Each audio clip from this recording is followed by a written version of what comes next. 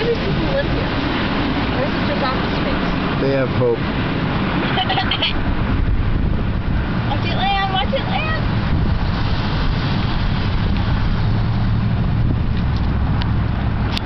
Do you seriously think people live here?